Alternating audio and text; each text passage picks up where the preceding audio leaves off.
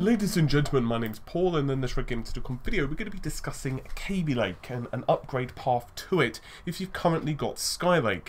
Now I'm still a little ill unfortunately so this video is going to be perhaps a little shorter than uh, normal and also if I do waffle a little bit or just kind of you know drift off then you know why. Um, unfortunately, Amy is buggered off to a festival, so it's pretty much down to me. So this is going to be an interesting video, but I'm sure with your help we're going to get through it, right? Uh, this is also an article which is linked in the video description because at the moment I'm finding articles a bit easier because I can take my time writing them. Anywho, um, so as I said, Kaby Lake on Skylake has been a bit of a mystery primarily because Intel have been less than forthcoming when telling us, the customer, what the upgrade path is. So just to get everyone onto the uh, same page, though I think most people know this, Lake is the successor and it's basically just a tweaked version of Skylake. It's going to offer about 10%-ish performance increase with the same processor like for like. So for example, if you've got a 6600K and replace it with a 7600K or a, or a 6700K with a 70, uh, 7700K, you're going to get around 10% performance increase from the previous generation at the same clock speed. Great. But, despite the fact that the two processor sockets are identical, there have been some questions of whether they are actually backwardly compatible. Which obviously isn't much of a problem if you're, say, coming from Haswell and thinking of jumping on uh, Kaby Lake.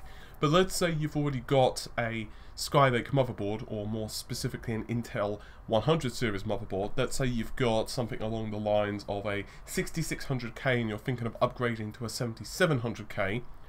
Well, despite the fact the sockets have been identical, there hasn't been an official word of whether you can do that until now.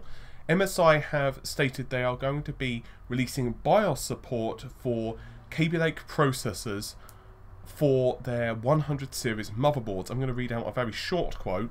MSI, the world leading and most popular gaming component brand, is obviously very PR and spin, but still, is pleased to announce that all current MSI 100 series chipset motherboards fully support the next generation LGA 1151 socket processors. BIOS updates are now made available via the official MSI website, end quote. Pretty short, pretty sweet. So that's the end of it, right? Well, kinda. Now, there are some definite advantages of jumping on the 200 series boards. Um, the first is, is obviously if you've got a really bad 100 series board, let's say you've got one that's not exactly inclined for overclocking, you might want to make the upgrade anyway but you're also going to be missing out on things such as the Intel Optane technology, which is going to be brought in by the 200 series. Now, I'll grant you that if you're probably just a gamer, and I don't mean that in a disrespectful way, I'm just saying that gaming doesn't really require that huge amount of bandwidth that Optane's going to bring in, at least for now, um, then maybe the 200 series isn't for you. And obviously there are going to be a few other benefits. For example, uh, Kaby Lake does bring in additional PCIe lanes, and you've got native USB 3.1 support on chip rather than relying on a third-party chip. Once again, depending on your configuration, those probably are not going to be a make or break deal. And once again, if you've already got a pretty good motherboard set up and you just fancy a quick upgrade, for example, once again the 6600K to the 7700K, it's a pretty good option.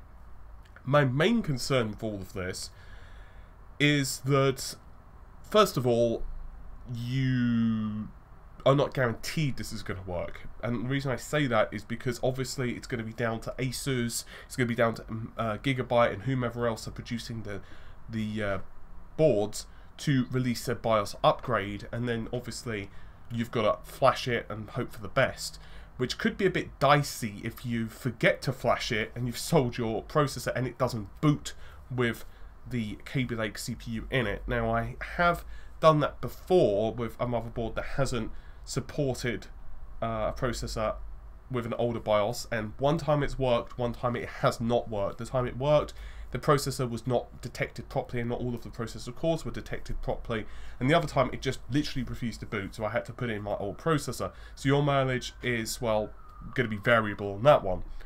The other issue for a lot of folks is quite simple and that is known as Zen.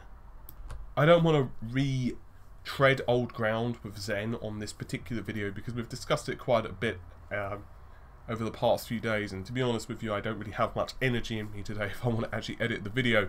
But essentially Zen is going to be released at roughly the same time frame. So if you are going to be, have to upgrade your motherboard I suspect that for a lot of folks it's going to be like well I could upgrade get like X processor with X board or I could just go the Zen route and obviously then it's going to be down to the pricing and it's going to be a very interesting first quarter to say the least. Anyway, I'm going to get going while I've still got energy. Uh, hopefully you've enjoyed the video. Once again, so sorry for not being around much the last couple of days. This flu is absolutely freaking brutal. I think about half the people I know have gotten it either from me or just from random people, and it's absolutely just ridiculous. I'll save you the gory details, but even now, despite my throat being better, my energy levels are about zero. I've been pretty much bedridden for the last week, which is not good. Um, and that means I've been pretty much locked in. I haven't been going to the gym. Uh, even going shopping has not been an ideal, happy, fun time. So I've pretty much had to have friends in a couple of days actually deliver food round because I was so sick. And I'm not joking, it has not been a pleasant time. So hopefully over the next couple of days I'll be more back to my normal self. But anyway, I'll save you the gory details and maybe I'll discuss it more in the podcast on Monday, assuming I'm conscious. But take care of yourselves. Bye for now.